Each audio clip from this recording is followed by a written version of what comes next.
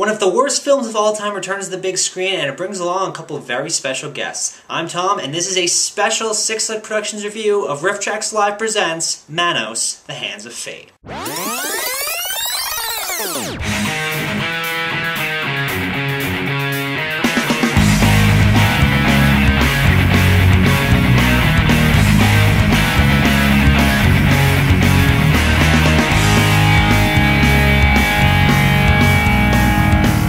August 16th, I got the very special privilege to go and see RiffTrax Live, which is a live event starring Mike Nelson, Kevin Murphy, and Bill Corbett, the RiffTrax crew. For those who don't know, RiffTrax is essentially the evolution of Mystery Science Theater 3000, a show from the 90s in which a guy and two robots watch a bunch of B-movies and make jokes and riffs about it. Today, the robot aspect is gone, unless you count Disembodio, the uh, this robotic voice that syncs up the riffs with the film. But the core theme of just completely tearing apart and making fun fun of movies remains the same. And last night I was fortunate enough to see them rip Manos the Hands of Fate, which is arguably one of the most popular episodes of the MST3K days. For those of you who are fortunate enough to have never heard of Manos the Hands of Fate, it was a film that was made in 1966. It was written, directed, produced, and edited by Hal Warren, who was a insurance and fertilizer salesman who made this film based on a bet that horror movies were not very hard to make. I swear I'm not making this up. The story is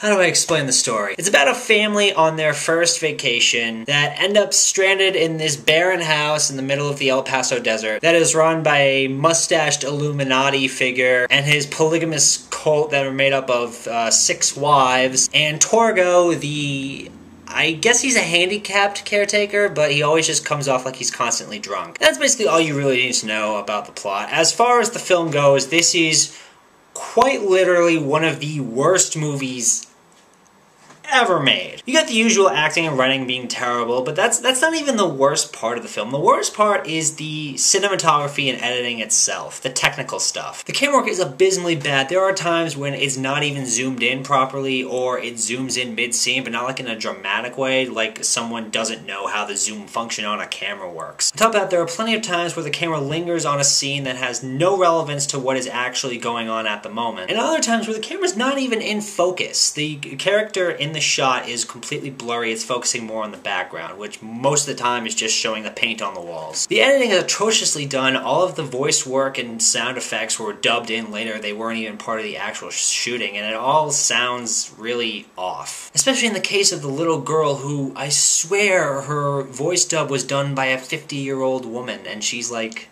seven. The music is terrible. It's all just saxophone and flute noises that it's not even a real melody. It's like someone was hired to just come in and play random notes. There's a subplot, and I use that term loosely, that have a couple in a car making out and the police constantly telling them to leave. Has absolutely no significance on anything else that goes on in the movie. It's really only there because the actress in the car was supposed to be one of the wives and she broke her leg and they had to find a place to use her otherwise the production team was going to get sued. Yes, I'm serious. And despite the overbearing presence of the cult in the latter half of the film, it never actually explains what Manos is or what the purpose of the cult is. You could easily replace it with a family of bunny rabbits and it would essentially make about as much sense. I could go on and on about how terrible this film is. I could do a whole college presentation on it. And I hope to God that somewhere, some film class is showing this film and having this film students just pick it apart. In short, this is an amateur film of the lowest caliber. It was such a laughingstock when it premiered that Hal Warren and the crew actually snuck out of the premiere before it even finished. None of the actors had a real career outside of the film. Actually, the actor who played Torgo committed suicide about a month before the premiere. And the film eventually faded into obscurity until Mystery Science Theater 3000 brought it back and made it a cult hit. I don't even know if I can say it's so bad it's good on its own. Like, you really need to watch the Mystery Science Theater 3000 version or the riff, have the RiffTrax for it. Otherwise, you're probably just gonna fall asleep during it because it's so boring. But because from a riff track standpoint, this is comedy gold, and seeing it done live was amazing. It was also fun to kind of see it done by a different crew because while Mike Nelson was a member of the MST3K crew at the time this episode aired, this was during the time when Joel Hodgson was the uh, host still and when Tracy Beaulieu was doing the voice for Crow, which is the robot that Bill Corbett eventually took over for. So Kevin Murphy was really the only one who came back for round two and then Mike and Bill were finally allowed to take their first shots at it. Before the actual movie, we got a couple quick shorts that we saw at the beginning, including a short film called Welcome Back Norman a commercial about prune juice, and a short educational film about the artistic use of cylinders. So in the next few weeks, if you hear somebody use a phrase like, that is so totally Norman, mention cylinders being at your fingertips, and make some reference to prunes,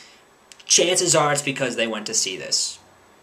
Either that or they're just severely delusional. As for the RiffTrax itself, it was hilarious. I think I preferred this one to the previous one because even though the MST3K version was the more classic one, it reflected a lot more of the earlier years of, of the show when the jokes were, it was a little more quiet, uh, the jokes were a little more spread out, there were a lot of pauses in between the riffing so you could actually hear what the movie's going on. And in the later years, they were a lot louder, a lot more rambunctious, the jokes were a lot more rapid fire, and it definitely kind of made the whole thing go by a little easier. The jokes only highlight the ridiculousness of the films, and they even make nods toward the MST3K episode, mostly when they are idolizing Torgo, for lack of a better word. Probably one of the best moments, at least from what I saw on Tumblr, was the uh, Hillbilly Twilight sketch they did about halfway through with the aforementioned couple making out in the car. It was probably one of the best parts. They actually made a lot of references toward their uh, Twilight tracks. I thought that was kind of funny. Also, I just want to point out that the theater was almost packed. There was barely an empty seat in the room, so if you don't believe that this is a popular event, take that on its merit. Like, they played to an almost sold out room. Some movies can only be funny when there's a distraction in them, and Manos is one of those movies that needs RiffTrax in the same way that a library needs books and patrons. Manos is a movie that does absolutely everything wrong and will put you to sleep on its own, but the RiffTrax is fantastic and the crew does an amazing job with it. Mike, Kevin, and Bill are all dedicated masters to their crafts, and they are honestly three of the funniest people on the planet. I had not laughed that hard in a long time, and over the course of two hours, I did a lot of laughing. And ultimately, the point of the event was to go and laugh at a really terrible movie, and it did its job well. If you've never been to a RiffTrax live event, I highly recommend you go. They're going to be doing Birdemic in October, so check your local theaters to see if it's going to be playing near you. But I would give Manos, The Hands of Fate, an F, and the RiffTrax live event an A+.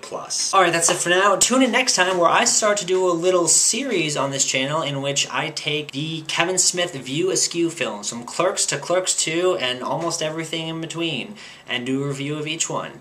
Until then, I'm Tom, and this has been SickSlick Productions. If you enjoyed this video, give it a like, a favorite, subscribe to the channel, post it on Facebook, Twitter, Tumblr, Google+, Reddit, something awful, spray paint on buildings, make a flag of it, get it tattooed in your forearm, get it branded into your forehead. This is SickSlick Productions saying keep the spirit of the movies alive.